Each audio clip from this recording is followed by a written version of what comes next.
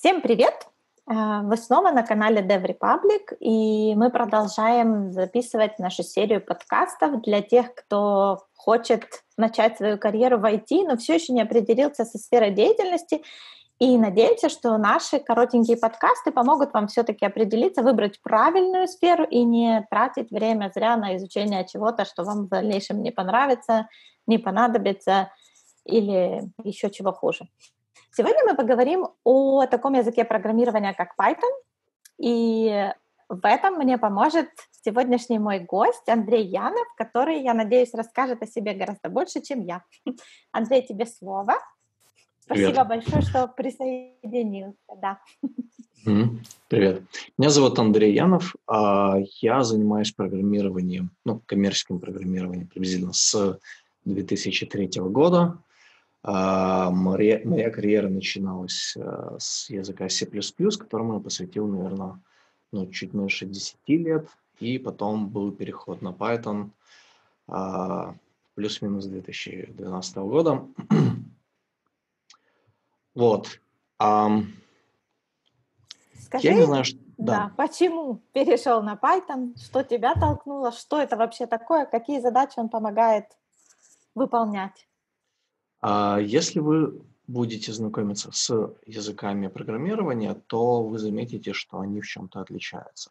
Отличаются в синтаксисе, отличаются в а, возможностях, в сферах применения и так далее и тому подобное.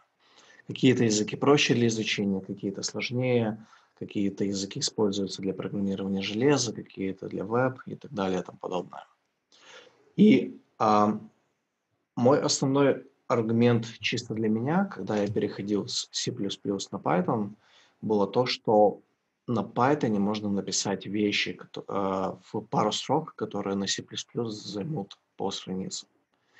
Может, с небольшим утрированием, но тем не менее, я, когда я начал его изучать и пробовать что-то писать, я понял, что на нем реально удобно и э, просто написать какие-то там вещи, э, и быстро получить результат. То есть вы буквально там быстренько, на, ну, за полчасика наваяли какой-то проектик, он уже что-то делает, что-то полезное.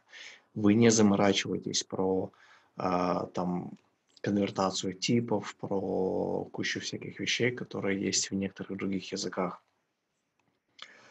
А, мне очень нравилось, что Python можно применять в нескольких сферах. Угу. Первое это веб. Веб это, наверное, такое сейчас очень популярное направление, да, то есть серверная часть для сайтов, которым мы пользуемся. А второе это скрипты для себя, когда ты хочешь что-то автоматизировать, что-то у себя обработать, какие-то тексты, что-то какие-то мелкие или не всегда мелкие тузы, то Python очень-очень даже подходит здесь. И а, третья сфера, которая сейчас очень сильно развивается и прям а, специалистов разбирается руками и ногами, это data science. Uh-huh. То есть машинное обучение. Я думаю, вы уже наслышаны о том, как оно применяется. То есть а, определение там изображений и так далее и тому подобное. Это все data science и Python там одна из, ну, наверное, основной язык, который используется там. А, я также помню, как я был на конференции, где нам рассказывали про то, что ребята работали над анализом гравитационных волн и показывали код, который был написан на Python, и описывали, как они, э, как они определяли, ловили эти частицы, э, которые, гравитоны, которые переносят волны. И вот этот код на питоне, он как бы был для меня еще таким интересным аргументом в сторону этого языка. Вот. В общем, можно выполнять, насколько мне известно, что на Python есть, в Python есть для Python, наверное, есть много библиотек тоже, да, что как бы он очень популярен и ну, а если взглянуть на статистику сайта GitHub или Stack Overflow, то Python находится сейчас на втором языке популярности после JavaScript. Uh-huh. А хитрый нюанс здесь в том, что JavaScript — это единственный язык для фронтенд разработки. Ну, есть еще TypeScript и какие-то вещи, но они все равно компилируются в JavaScript, поэтому он занимает первое место, ну, просто потому что у него в каком-то смысле нет конкурентов. А, Дальше идет Python, Java, а, другие языки. То есть он сейчас, а, скажем так, а, очень популярен. На Stack Overflow более миллиона вопросов с ответами по Python. Поэтому, ну, как-то так. Ну, Опять же, да, опять же, э, есть разные языки, разные технологии. Сказать, что Python лучше, чем Java или еще что-то и так далее, ну, не совсем корректно. Есть плюсы, есть минусы, но лично для меня он был таким, ну, интересным и гибким. Угу. А подскажи тогда, с чего, если вот мы определимся, да, я хочу изучать Python, например, угу. с чего мне нужно начать изучение? Я пойду um, на... Есть... Uh есть разные варианты на самом деле. Есть э, бесплатные туториалы, есть э, куча YouTube-видео. Э, намного эффективнее считаю, если это все-таки какой-то более-менее живой курс, когда человек, э, который сопровождает тебя в изучении языка, и он может ответить на вопросы. Это касается не только Python, это, в принципе, для любого языка, потому что когда ты упираешься в какую-то проблему, это прям очень фрустрирует, ты не знаешь, что делать, ты тратишь несколько часов и так далее на вещи, которые человек, какой-нибудь ментор или э, лектор или тот, кто, кто обучает, он может подсказать буквально, посмотрев полминуты и сориентировав, куда двигаться и так далее. А для меня это было прям вот таким очень некомфортным, когда я пытался изучать сам, Угу. То есть это, в принципе, возможно, да, и рано или поздно ты приходишь к результату. Ты изучаешь, есть форумы и так далее и тому подобное. Вопрос в скорости и вопрос в комфорте. То есть ты хочешь получить результат буквально, допустим, через месяц и уже писать что-то свое, или э, штудировать форум, потому что какие-то непонятные вещи и так далее. И поэтому а мой личный совет – это именно вот работать с человеком, который тебе на месте может подсказать, что и как, угу. где. И... С получается, начинать. С самого начала, но найти себе какого-то преподавателя хорошего. Да, это один момент. А, второй момент – это а, сейчас экосистема программирования устроена так, что существует очень много open source проектов. То есть uh-huh. проекты с открытым доступом, и ты можешь просто открыть на том же GitHub питоновские популярные проекты, посмотреть, как пишут код, ну, профессионалы, как пишут uh-huh. код библиотек, которым пользуются там тысячи, десятки тысяч людей. То есть э, как э, посмотреть стиль написания, посмотреть, как идет взаимодействие команд. И э, здесь мы подходим ко второму вопросу, что я считаю чуть ли не обязательной частью что обучение программированию должно включать обучение работы в команде. Как работать с а, общим кодом, да, использовать гид, который является сейчас лидером для а, взаимодействия, для работы, взаимной работы в команде. А как вообще решать вопросы, распределять задачи, э, даже решать конфликты, договариваться и так далее. Это прям, ну, must have. То есть, mm-hmm. если а, вы рассматриваете работу в какой-то компании, то, очевидно, люди будут смотреться в так называемые soft skills. Mm-hmm. Как вы умеете взаимодействовать с другими людьми. И в моей карьере, когда мы собеседовали людей на позиции разработчиков, у нас было много раз, когда мы выбирали человека по личным качествам важнее, чем техническим. Да, mm-hmm. человек что-то не знает, теряется, ни в чем-то не уверен и так далее, но когда ты видишь вот это вот внутреннее желание идти, изучать, пробовать, что человек адекватно относится к своим ошибкам, что он готов спрашивать совета, то мы понимаем, что у него есть будущее. Mm-hmm. Я знаю, что некоторые из таких людей до, дорастали до тим лида или тех лида буквально за годика-полтора. Поэтому техническая сторона важна, но именно работать с людьми – это очень-очень важная часть. Очень важно, точно. А, так, тогда так, мы поняли, что софт-скиллы нам необходимы. А какие хард-скиллы необходимы? Вот помимо Python, не знаю, вот на Data Science я знаю, что нужно обязательно математику знать, статистика, там, теория вероятности и все это остальное. А здесь я филолог вообще по образованию. Mm-hmm. Могу я начать? Mm-hmm. Конечно. Ну, то есть скажем так, а, для изучения программирования нужно а, почувствовать себе вот это желание что-то создавать, а что-то конструировать, как будто с кубиков. Это и... креативность в том числе. Да, это, это креативность, и это вот, вот как архитекторы создают здания, также в каком-то смысле здесь. Создавать – это первый навык, второе – это копать. Копать и разбираться с проблемами, где у меня сидит вот эта злобная бага, которая там выскакивает один раз из стаи, которая там ломает и клиенты злые и так далее. То есть, эм, если брать технические моменты, то первое – это э, учиться тренировать, понимать, как работает весь код, что с чем взаимодействует, где как работает. Да, то есть почему мы получаем такой результат. То есть понимать, что стоит за тем или иными блоками, библиотеками. А, то есть общее понимание архитектуры приложения.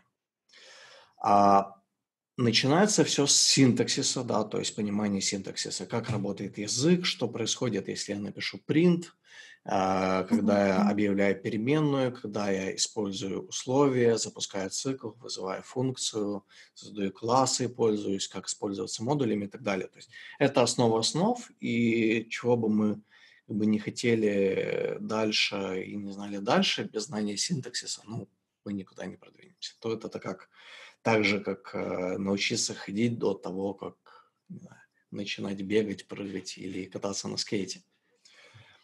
Вот, когда, когда мы уже знаем основы, когда мы уже поняли, что мы можем написать какие-то базовые вещи, мы уже можем что-то понимать, мы уже конструируем что-то сложнее, чем три строки, а мы начинаем, а, нам нужно понемножку изучать вот, вот это объединение, то, что я сказал перед этим, как компоненты объединяются между собой, как делать так, чтобы потом не запутаться. Потому что то, что очень легко пишется в начале, если его не писать правильно, через некоторое время оно превращается в огромную путаницу, где неправильно названные переменные, не использованы паттерны, а код слишком связан, код не тестирован, да, или когда программисты начинают писать в разных стилях, они не договорились, и получается вот такая мешанина. То есть а, дальше понимание архитектуры. Ну, то есть вот если в двух словах, то архитектура приложения, как все взаимодействует, то есть на высоком уровне а, понимать концепции, что а, код – это зло, как я услышал одного человека, в плане, что? Чем меньше кода вы написали и выполнили задачу, тем при прочих равных лучше.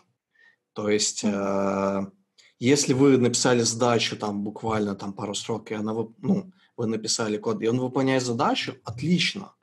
То есть, как, э, чем больше кода, тем он, очевидно, сложнее. Как делать так, чтобы у вас было все хорошо – но вы оставались максимально просты, чтобы вы взяли разработчика со стороны, он пришел, посмотрел на ваш код, и ему стало, а, здесь понятно, ты здесь делаешь это, здесь делаешь это, здесь делаешь то. То есть, если просуммировать, то есть две части кода. Первое – это чисто техническое, правильное выполнение ага. кода, чтобы у вас не лезли баги, чтобы у вас код выполнялся и делал то, что нужно. То есть он а, делал свои задачи, он реагировал правильно на нестандартные ситуации, он делал это эффективно, допустим, быстро, он был расширяемым и так далее и тому подобное. Это техническая часть. Вот, а есть человеческая часть. Это означает, что насколько этот код а, другие программисты могут поддерживать, или вы можете поддерживать, да? То есть насколько в нем просто разобраться, насколько в нем легко добавить какую-то часть. То есть вещи, которые связаны с тем, что вы работаете с другими людьми, или вам нужно будет вернуться к вашему коду, или вам нужно будет присоединить какую-то библиотеку и так далее. То есть вот эти вот две стороны – и о них не нужно забывать, и многие считают, что, ну, человеческая часть, ну, я там переменные не так назвал, я там функции не так. Ну, ничего такого, мне же все понятно. Но когда вы потом возвращаетесь к своему же коду через полгода и не можете разобраться и беретесь за голову, то это, ну, это грустно. Вот. То есть есть какая-то общепринятая терминология, да, грубо говоря, а есть то, что привносят от себя программисты. И вот желательно использовать очень общепринятую терминологию. Да, а многие считают, что типа, ну, там, какая разница, как, кто как называет, вот я называю так, он называет так, типа, что, что вы все паритесь? Это вопрос эффективности взаимодействия. Когда вы говорите на одном языке, то вам становится намного, а, намного понятнее. И когда я вижу код, в котором перемены названы T1 или S или K или I, я такой, то есть, ну, блин, ну елки-палки. Вот а, мне понравилось, что Илон Маск, насколько я слышал, ага. в свое время выпустил а, такой мемо, обязательство внутри своей компании не использовать аббревиатуры, которые вот не совсем очевидны. То есть, конечно, у них есть куча э, названий компонент, э, двигателя, ракеты и так далее и тому подобное, и очень легко начать использовать какие-то сокращения, и он угу. э, вывел э, прямой запрет, то есть э, используйте полное название. Почему? Потому что всегда есть какие-то новички, всегда есть люди, которые перешли, которые занимались другими вещами, и это усложняет жизнь. На них кидаются аббревиатурами, они не понимают, что к чему и так далее и тому подобное. И здесь что-то похожее. Mm-hmm. А, я заметил, что многие профессионалы, они а, привыкли быть все равно а, понятными в плане объяснений они вроде бы знают настолько сложные вещи, что я, когда начинаю задумываться, у меня просто пухнет голова, но они, тем не менее, умеют донести свою мысль Стыми понятно словами, так, чтобы, да? да, новичок мог понять. Он такой, а, вот здесь все, я понял. И это, это важная часть, которой учишься постоянно. И как отдельным моментом, наверное, а, способность окружать себя людьми, которые умнее тебя, угу. и э, чувствовать себя нормально в этом плане, потому что э, хотелось бы, чтобы я был самый умный здесь, но тогда ты перестаешь обучаться. Когда ты попадаешь в команду, да, когда у тебя профессионалы, ты такой подхватываешь, о, можно так, можно это, когда ты видишь, как человек использует там Bash в Linux или еще что-нибудь, а, каждый день, когда ты чему-то учишься, для меня это был охрененный опыт. И поэтому а, все время вот ловить людей, которые заставят тебя краснеть из-за того, что ты что-то не знаешь, что ты где-то накосячил, что где-то сделал ошибки, и понимать, что здесь я стану лучше, я, блин, вот не знаю, буду там э, материться, злиться и так далее, но вот я сегодня понял это, я сегодня понял то, и это классно, когда ты вот развиваешься, и вот этот вот, когда ты становишься лучше и замечаешь в себе, вот это вот вот этом удовольствие. Это относится не только к программированию, да, скорее даже а, когда ты офигенно вводишь машину или ну, что да. ты делаешь, угу. да. Вот когда ты чувствуешь себя сильным, лучшим в чем-то других, это вот создает какую-то гордость для себя. А, мне бывает грустно, когда я понимаю, что люди идут в какую-то профессию чисто ради заработка денег. И это, в принципе, хорошая цель. Но с такой мотивацией, мне кажется, люди не очень сильно будут продвигаться вперед. И стать профессионалом намного сложнее. Мне нравится, когда люди хотят вот э, стремятся и получают удовольствие в том, что они вот становятся в чем-то сильными, да, и вот как те профессии, а, которые я назвал, и куча разных других. Когда ты в чем-то становишься хорош, ты получаешь удовольствие именно от этого, и оказывается, что растут твои результаты, растет узнаваемость, mm-hmm. растет а, а, репутация, начинают рекрутеры бомбить в скайпе и а, предлагают разные интересные проекты, и а, ну, это классно. Это классно, и... но это путь. Здесь нет конечного результата. Ты не можешь прийти и стать одним из лучших. Даже Гвидон Россум, который начинал, а, ну, а, разрабатывая язык Python, он все равно продолжал развиваться и менять себя а, и так далее и тому подобное. Поэтому нет пути совершенства, есть просто путь, путь, по которому ты двигаешься. Подскажи, а если, например, посещение конференций, это на начальном этапе вообще подойдет? Я бы сказал, лучше нет. А, если вы не общаетесь с людьми, которые посещают конференции с вами, то вы потратили время зря. Есть доклады, и это, в принципе, интересно, это, в принципе, прикольно, и можно задать вопросы, но э, информацию вы можете получить в интернете. Есть YouTube-ролики, есть записи конференции и так далее. И сила конференциях – это если вы лично спро- можете спросить человека мнение. То есть э, это возможность пообщаться с людьми, которые, опять же, специалисты или профессионалы в своем деле. И это, наверное, около единственное, что стоит оттуда брать. Если вы просто пришли послушать доклад, ну, откройте э, Medium или еще какие-то сайты, где часто пишут на технические темы, и, и все. То есть это, это и ловите взгляд, ну, вот а, мне кажется, основная ошибка людей, которые чему-то учатся, они смотрят на обучение как на алгоритм. В плане алгоритм, как мне сделать, э, решить эту задачу, как мне решить ту задачу. А, пятое, десятое, да, то есть как мне, какие классы мне нужно сформировать, какие функции использовать и так далее и тому подобное. Угу. Я бы советовал, когда вы учитесь чему-то, в частности программированию, это перехватывать стиль мышления человека. На что профессионал обращает внимание, а, о чем он думает, то есть а, какие решения он принимает, а, что он учитывает. В, э, здесь в сфере очень много нюансов, которые не очевидны, да, смотреть э, вывод команды, всматриваться в код ошибки, там, ну, вывод ошибки и так далее. То есть какие-то вроде бы как мелочи, но они часто дают ответ на вопрос. И мало кто об этом говорит. Но, опять же, если взять э, какого-нибудь профессионального разработчика и забрать у него все знания просто о техническом языке, то есть о синтаксисе и так далее, то он станет профессионалом в каком-то языке или, или ему сказать, что вот теперь тебе нужно выучить там новый язык, который не очень похож на то, тот, который ты используешь сейчас, то он станет профессионалом через там максимум годик, просто потому что у него сформирован определенный тип мышления, он будет знать, куда смотреть, он будет знать, что учитывать, он будет знать, как собирать информацию, а, как ее обрабатывать, как ее организовывать и так далее, и так далее. Все остальное, оно придет. И поэтому, когда вы сталкиваетесь с людьми, которые вы считаете вот достигли многого, то расспрашивайте, как он принимает решения и подлавливайте вот это вот паттерн, вот, вот эти вот моменты. Это я считаю таким самым важным. Вот. А для всего остального есть интернет. Есть интернет. Уже мы несколько таких роликов записали, и угу. вот основной месседж это то, что Google лучший друг везде и во всем.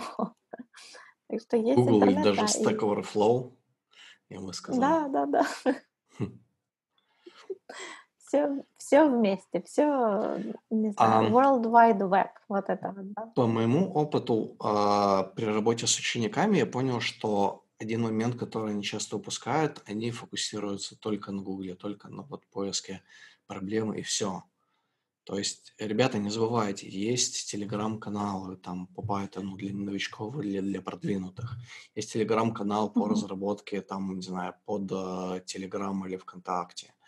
Есть форумы, на которых можно задать вопрос, потому что а, не всегда, не всегда можно найти ответ. И мне грустно, когда люди не пользуются вот этой возможностью. Да? То есть вот просто загуглил, не нашел ответ, и, и все, да. То есть вокруг вас есть люди, которые с удовольствием вам помогут и ответят на вопросы, если вам нужно. Поэтому а, и многим даже приятно, когда к ним обращаются за помощью. Поэтому старайтесь использовать, будьте благодарны, но а, как бы в мире намного больше возможностей ресурсов получить информацию, помощь, чем, чем это может казаться на первый взгляд. Не стесняйтесь спрашивать. Если человек занят, он просто ответит занят, но это просто огромный ресурс.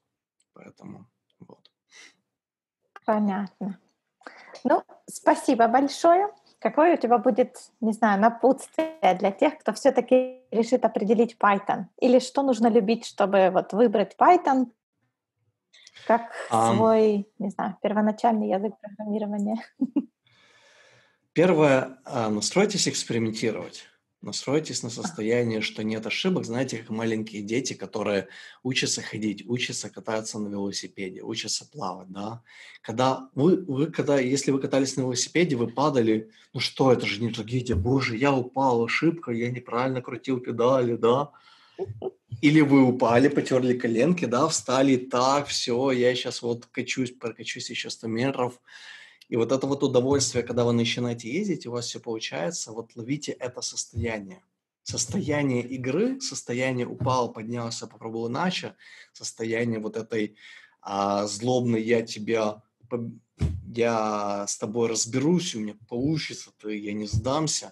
Вот настроение, оно создает сразу большой процент успеха. И даже Том Робинс в одном своем видео а, рассказывал, что 80% а, а, ну, 100% успеха, 80% это психология, и 20% это навыки. Поэтому хороший настрой, настрой, что я буду играть, не именно серьезным вот мне нужно изучить, я буду играть, я буду экспериментировать и так далее. Это один из моментов, с которым Получать стоит... Получать удовольствие, да?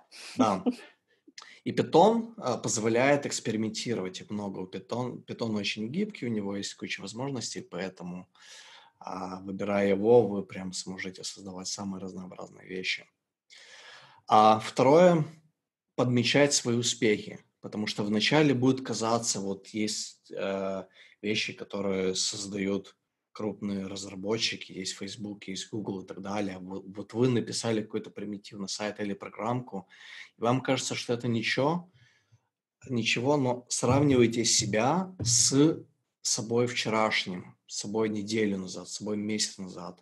Отмечайте, чему я научился вчера, и это будет добавлять вам мотивации. Вы когда заметите, что вы каждый день прогрессируете, что вы выучили что-то еще, вы поймете, что вы двигаетесь и двигаетесь быстрее, чем вы думали. И это важный момент. Третий, всегда будьте готовы к новому, всегда будьте готовы, что вы кажется, что вы ошибались, что вы неправильно думаете. Всегда будьте готовы признать, что вы в чем-то не правы и рассмотреть альтернативные версии.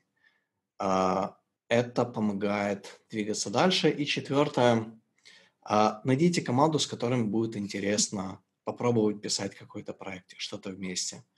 Это намного прикольнее, когда вы чувствуете себя частью чего-то большего, mm-hmm. вы вносите свой вклад, вы поддерживаете других, вы помогаете, и другие помогают вам. Я думаю, что вот комбинация вот этих вещей намного упрощает вам вход в, э, в программирование, в мир IT и так далее.